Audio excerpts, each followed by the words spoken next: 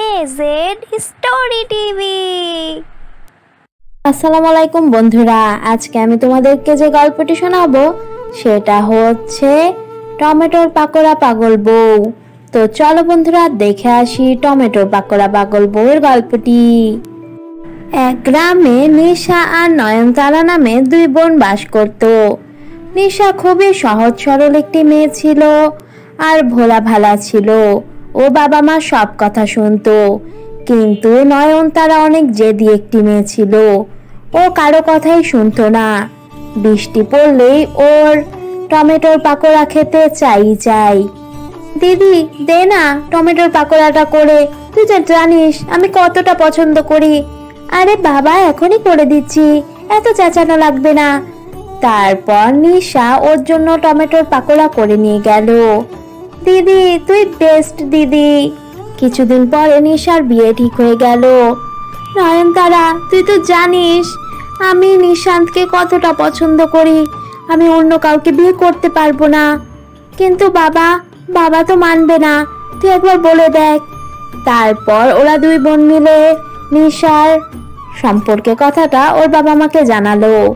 কিন্তু ওর বাবা মা একদমই রাজি হলো না। এরপর নিশার যেদিন বিয়ে ছিল সেই দিন নয়নতারা ওকে বলল, দিদি, তুই পালিয়ে যা, সুখে থাকবি, আমি এদিকটা দেখে নিচ্ছি, তুই যা।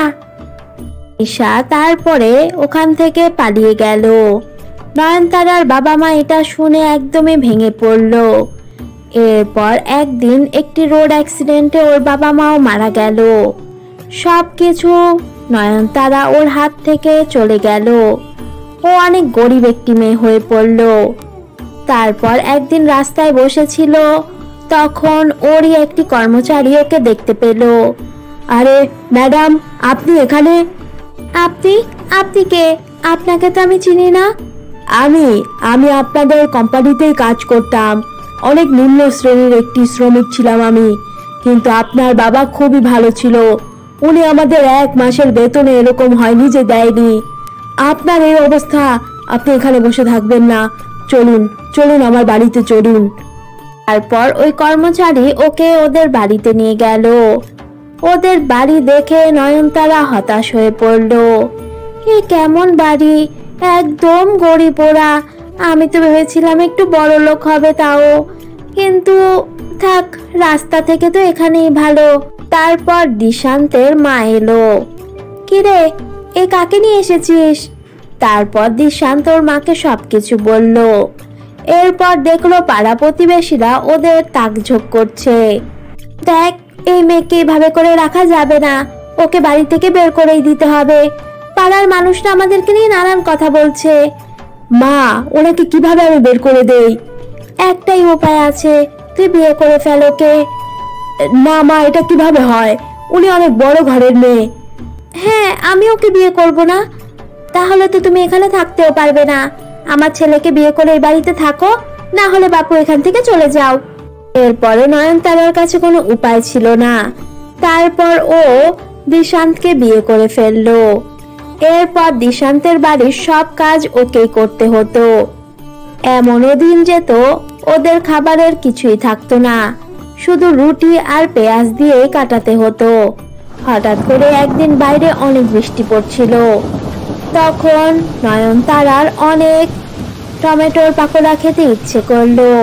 খুব টমেটোর পাকোড়া খেতে ইচ্ছে করছে। আচ্ছা দেখি, আমি নিয়ে আসব রে। কি নিয়ে আসবি তুই? জানিস তুই টমেটোর দাম কত? ও বলল আর তুই নিয়ে আসবি? আর কত করবি এই মেয়ের জন্য? এই মেয়ে তো তোকে দিয়ে খাটিয়ে মারে। নয়নতারার মন খারাপ হয়ে গেল। এরপর ও একটু বাইরে চলে গেল। পরে নয়নতারা দেখল ওকে পিছন থেকে কে যেন ডাকছে। এরপর ও তাকিয়ে দেখল ওর দিদি। দিদি, তুমি? এতদিন পর। তোদেরকে আমি কত খুঁজেছি বলতো? আমি বিদেশ চলে গিয়েছিলাম নিশান্তের সাথে। এসে জানলাম সব কিছু তোকে আমি পাগলের মতো খুঁজেছি। কোথাও পাইনি। চল এখন তোর বাড়িতে আমাকে নিয়ে চল। এরপর নয়নতারা ওর বাড়িতে নিশাকে নিয়ে গেল।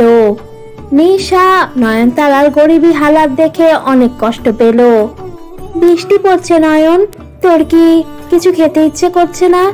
না, দিদি, কিছু খেতে ইচ্ছে করছে না। আমার সব অভ্যেস পাল্টে গেছে, দিদি। আমার যে ওই অবস্থা নেই। এটা শুনে নিশার খুব খারাপ লাগল।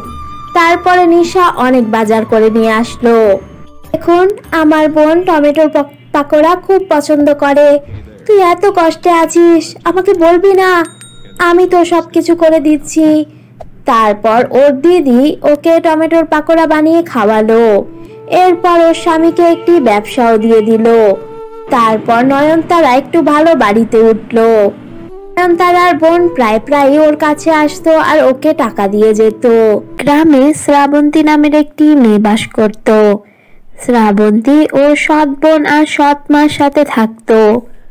শ্রাবন্তী দেখতে একটু চাপা রঙের ছিল বলে ও সৎ মা আর সৎ বোন ওকে অনেক অপমান করত আর ওকে বাড়িতে কাজের লোকের মতো রাখতো। প্রত্যেক দিন শ্রাবন্তীকে বাড়ির সব কাজ শেষ করে তারপর স্কুলে যেতে হতো। মা, কালকে আমার বাড়িতে আমার বান্ধবীরা আসছে। তুমি একটু ভালো কিছু রান্না করো না? আমি কেন রান্না করব? ওই কালি আছে না, ওকে দিয়ে সব রান্না করাবো? এই, শ্রাবন্তী, এদিকে আয়। তারপর শ্রাবন্তী ও সৎ মার কাছে গেল। হ্যাঁ মা, কি হয়েছে? তোকে কতবার বলেছি, মা বলতে মানা আমাকে? আমাকে তুই ম্যাডাম বলবি, আমি তোর মা নই, আর তুই এই বাড়ির কাজের লোক। তোকে পড়াশোনা করাই ভিক্ষে ভিক্ষে দেই তোকে। তোর বাবাকে কথা দিয়েছিলাম, তাই শোন, আসল কথায় আসি। আজকে আমার মেয়ের রূপার বান্ধবীরা আসছে। সব ভালো ভালো খাবার রান্না করবি। ঠিক আছে? সব যেন মজা হয়। ঠিক আছে, মা, ঠিক আছে, ম্যাডাম। ওই দিন সারাদিন শ্রাবন্তী অনেক কিছু রান্না করল। এরপর রূপার বান্ধবীরা আসলো। রূপার বান্ধবীদের সাথে অনেক আনন্দ করল। ইস, আমিও যদি এরকম আনন্দ করতে পারতাম। এরপর শ্রাবন্তী সবাইকে খাবার দিল। রূপা, সব বান্ধবীরা খাবার খেয়ে অনেক মজা পেল। রূপা, খাবারটা অনেক মজা হয়েছে। কে রান্না করেছে? আন্টি? না না, মা রান্না করবে কেন? ওই যে আমাদের কাজের মেয়ে, ও রান্না করেছে। ও, অনেক মজা হয়েছে। হ্যাঁ আমার মাই ওকে সবকিছু শিখিয়েছে, তাই তো মজা হয়েছে। এরপর রূপা সব বান্ধবীরা চলে গেল। এই শ্রাবন্তী, কালী, দেখছিস না? এই জায়গায় কত বাসন টাসন সবকিছু আছে? সব এক্ষুন পরিষ্কার কর আর পুরো ঘর বাড়ি ঝাড়ু দিয়ে পরিষ্কার কর। মানুষ এসেছিল, এখন একটু সুন্দর করে ঘর বাড়ি পরিষ্কার করে রাখ। ঠিক আছে মা, এখনই করছি। কিছুদিন পর ওদের কলেজ থেকে পিকনিকে নিয়ে যাচ্ছিল। শ্রাবন্তীকে ওর মা অনুমতি দিয়ে দিল। মা আমাকে অনুমতি দিয়েছে। এখন আমি যাবই যাব পিকনিকে। মা, তুমি কেন এটাকে পিকনিকে যাওয়ার জন্য অনুমতি দিলে? আরে দিয়েছি তো কি হয়েছে? সকালে এত কাজ করাবো না, যেতেই পারবে না। এরপর সকালে শ্রাবন্তীর মা অনেক কাজ ওকে দিয়ে দিল। মা, আমি এসে বাকিটুকু করি? কোনো বাকিটুকু করা নেই। সব কাজ করবি, তারপরেই যাবি।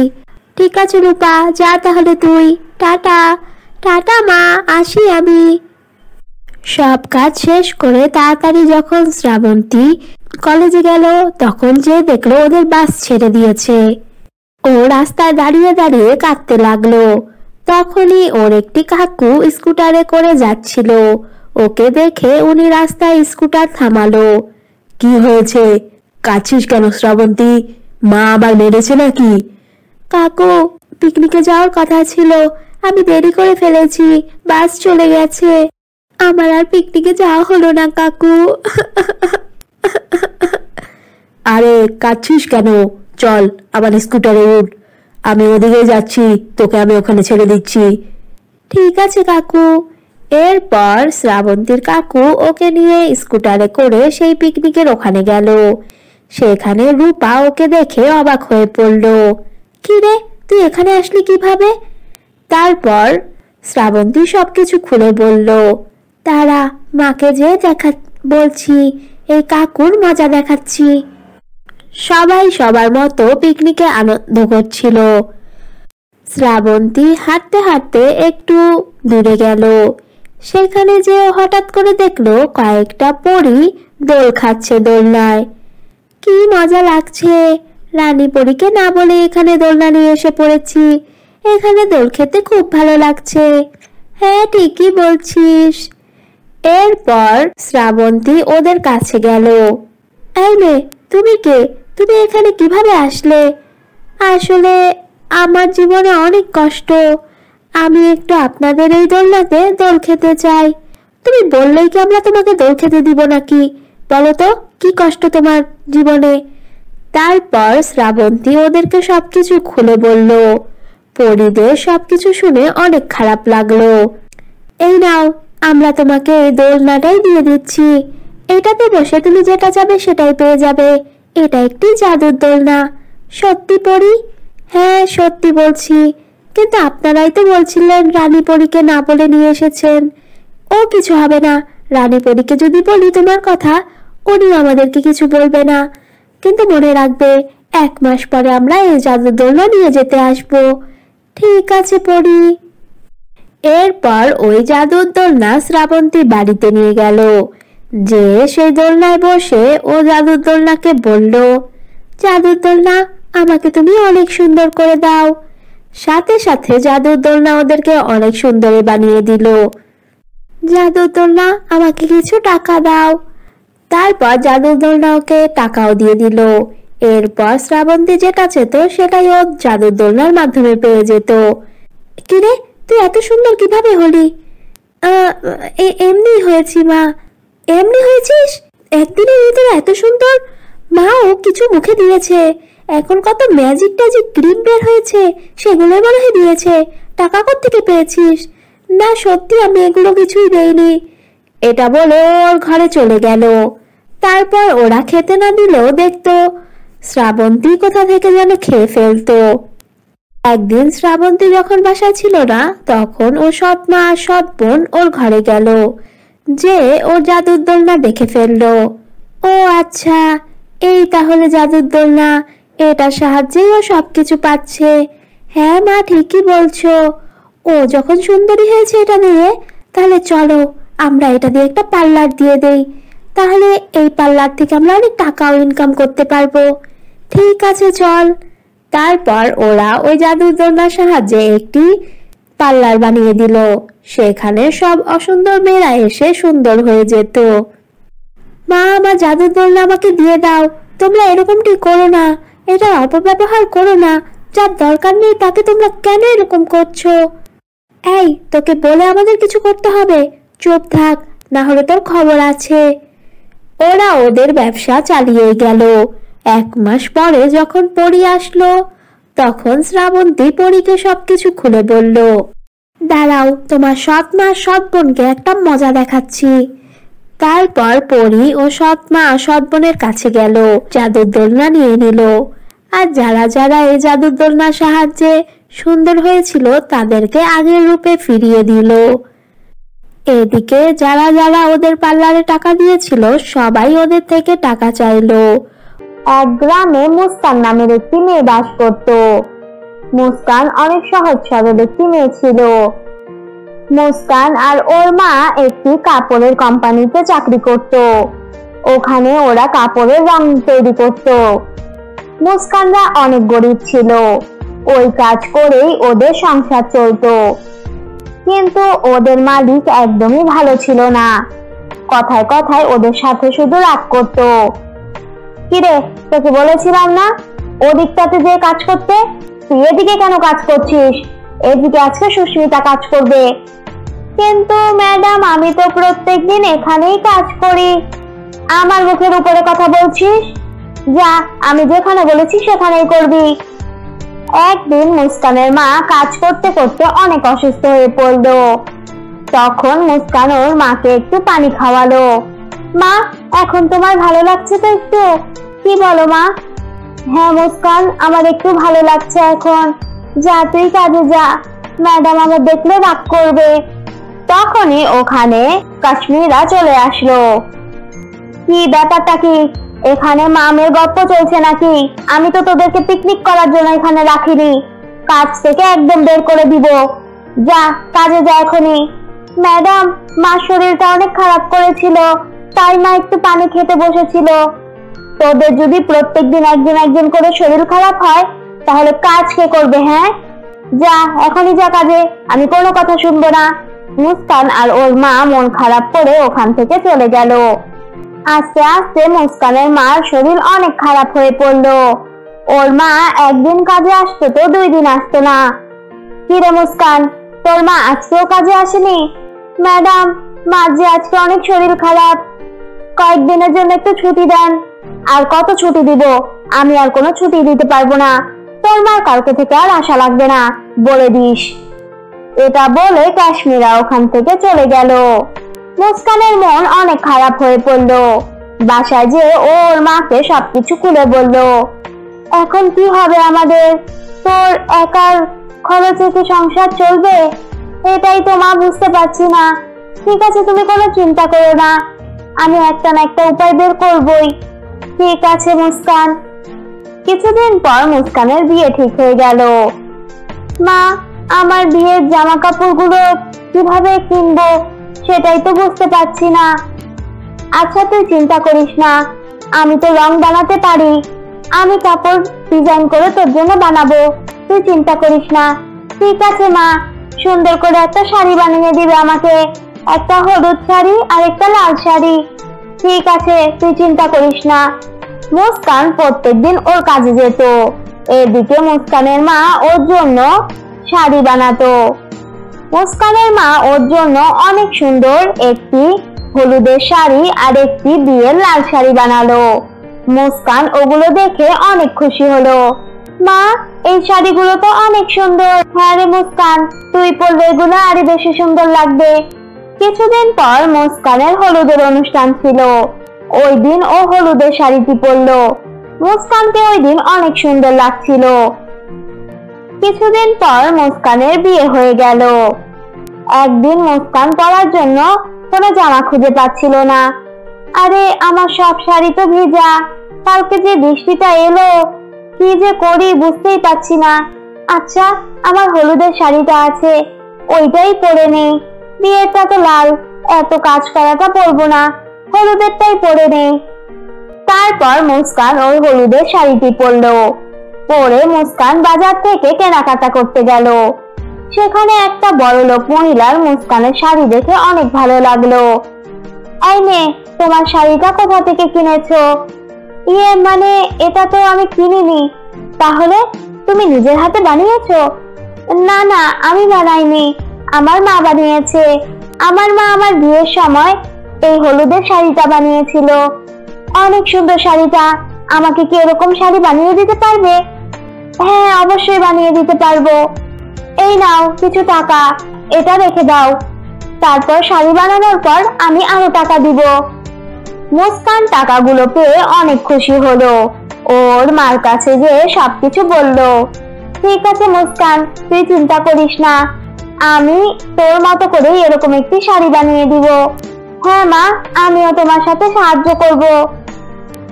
তারপর ওরা ওই মহিলাকে ওই রকমই একটি শাড়ি বানিয়ে দিল। উনি অনেক খুশি হলো। মুস্কান আর ওর মাকে অনেক টাকা দিল। শোনো, তোমরা তো একটা কাজ করলেই পারো। হ্যাঁ কি কাজ বলো? তুমি আর মা মিলে শাড়ি বানালেই তো পারো। তোমরা তো শাড়ির রং সবকিছুই বানাতে পারো। তোমাদের মালিক তো এমনিও ভালো না। মুস্কান, তুমি ওনার চাকরি ছেড়ে দাও। তুমি আর মা মিলে শাড়ি বানাও। তারপরে ওগুলো আমি দোকানে নিয়ে গিয়ে বিক্রি করব। ঠিক আছে, তুমি ঠিকই বলছো। পরদিন মুস্কান ওর অফিসে যে ম্যাডামকে বলল, ও আর চাকরি করবে না। এরপর মুস্কান আর ওর মা শাড়ি বানাতে লাগল। সেই শাড়িগুলো মুস্কানের স্বামী দেব মার্কেটে নিয়ে যেয়ে বিক্রি করতে লাগল। এভাবে করে ওদের অনেক টাকা আয় হতে লাগল। আস্তে আস্তে ওরা একটি শাড়ির দোকান দিয়ে দিল। মুস্কান আর ওর মা অন্য মেয়েদেরকেও শাড়ি বানানোর কাজে রাখল ওরা ওদের সাথে অনেক ভালো ব্যবহার করত। একদিন একটা মেয়ে কাশ্মীরার কাছে যেয়ে বলল, ম্যাডাম, আমি আর আপনার কাছে কাজ করব না। কেন কি হয়েছে? কেন আমার কাছে কাজ করবে না? তোমরা এক এক করে সব মেয়েরা কোথায় যাচ্ছ? কোথায় আবার যাব? আমরা মুস্কানের শাড়ির দোকানে কাজ করতে যাচ্ছি। সেখানে ওরা অনেক ভালো ব্যবহারও করে। আর মাইনে অনেক ভালো দেয়। আমি এখানে আর কাজ করব না। আমার মাসের টাকা যতটুকু হয়েছে, ততটুকু টাকা দিয়ে দেন। এটা শুনে কাশ্মীরার মেজাজ অনেক খারাপ হলো। কোনো টাকা দিব না, যা বের হয় এখান থেকে। আমার চোখের সামনে আর কোনোদিন আসবি না। তারপর ওই মেয়ে ওখান থেকে বের হয়ে চলে গেল। একদিন মুস্কানরা শহরের অনেক বড় একটি কন্ট্রাক্ট পেল। মা এই কন্ট্রাক্টটা যদি আমরা পূরণ করতে পারি, তাহলে তো আমাদের কোনো অভাব অনটনই থাকবে না। হ্যাঁ মুস্কান, তুই ঠিকই বলছিস। ক্যাশমেরা একটি মেয়েকে মুস্কানদের দোকানে কাজ করতে পাঠালো, যেন ওদের দোকানের সব কথা ওকে এসে বলতে পারে। ওই মেয়ে শুনে ফেলল, ওরা অনেক বড় একটি কন্ট্যাক্ট পেয়েছে। ও যে কাশ্মীরাকে সবকিছু বলে দিল। এত সোজা নাকি? কন্ট্যাক্ট পূরণ করা, আমি ওদেরকে কোনোদিনও সফল হতে দিব না। মুস্কানদের সব শাড়ি বানানো শেষ হয়ে গিয়েছিল। পরদিনই ওদের ওগুলো শহরে পাঠানোর কথা ছিল। মা, চলো, অনেক রাত হয়ে গেছে, এখন বাসায় যেয়ে একটু শুয়ে নেই তারপরে তো সকালে এসে আবার সবকিছু পাঠাতে হবে শহরে। হ্যাঁ তুমি ঠিকই বলছো। চলো, আমরা বাসায় যাই। তারপর ওরা বাসায় চলে গেল। বাসায় যাওয়ার পর পরই কাশ্মীরা ওদের দোকানে আগুন লাগিয়ে দিল। মুস্কানরা খবর পেয়ে ওদের দোকানের আগুন নিভাতে এলো। কিন্তু নিভাতে নিভাতে সব শাড়ি পুড়ে ছারখার হয়ে গেল। মুস্কান আর ওর মা অনেক কান্না করল। চলো আর এখানে থেকে কি লাভ আছে? বাসায় চলো। তোমরা যাও, আমি একটু বাড়ির বাইরেই বসি। আমার ভালো লাগছে না। আচ্ছা ঠিক আছে, চলে এসো তাড়াতাড়ি। ঠিক আছে তো, মুস্কান? মুস্কান বাড়ির বাইরে মন খারাপ করে বসেছিল। তখনই একটি পরী মুস্কানের কাছে এলো। মুস্কান দেখল ওই পরীটি ওর বানানো শাড়ি পরে আছে। আরে, পরী, আপনি তো আমার বানানো শাড়ি পরে আছেন। হ্যাঁ মুস্কান, আমি মানুষ সেজে ওই দিন তোমার কাছ থেকে শাড়ি কিনেছিলাম, আমার অনেক ভালো লেগেছিল। তুমি এভাবে মন খারাপ করে বসে আছো কেন? তখন মুস্কান পরীকে সবকিছু খুলে বলল পরী তারপর মুস্কানকে একটি জাদুর হলুদ শাড়ি দিল। এই না মুস্কান, এটা একটি জাদুর হলুদ শাড়ি। এটা পরে তুমি যেটা চাবে সেটাই পেয়ে যাবে। আশা করি তুমি সবকিছু আবার ফেরত পাবে। আপনাকে অনেক অনেক ধন্যবাদ, পরি। মুস্কান জাদুর হলুদ শাড়িটি পরে বলল, আমি চাই আমার দোকানটি আবার ফিরে পেতে। সাথে সাথে ওর দোকান আবার হয়ে গেল। জাদুর হলুদ শাড়ি? এখন আমি চাই আমার শাড়ির যে কন্টাক্টগুলো ছিল কালকে পাঠানোর জন্য সেগুলো সব যেন তৈরি হয়ে যায়। সাথে সাথে ওখানে আরও অনেক শাড়ি হয়ে গেল। এরপর আর কোনোদিনও কাশ্মীরা ওদের কোনো ক্ষতি করতে পারল না। তারপর ওরা খুশি খুশি থাকতে লাগল। তো তোমরা দেখলে বন্ধুরা, টমেটোর পাকোড়া, পাগল বইয়ের গল্পটি। এই গল্পটি ভালো লাগলে লাইক করো। আর কেমন লেগেছে এটা জানাতে কমেন্ট করো। আর হ্যাঁ বন্ধুরা আমাদের এজেড স্টোরিটি টিভিকে সাবস্ক্রাইব করো। আল্লাহ হাফেজ।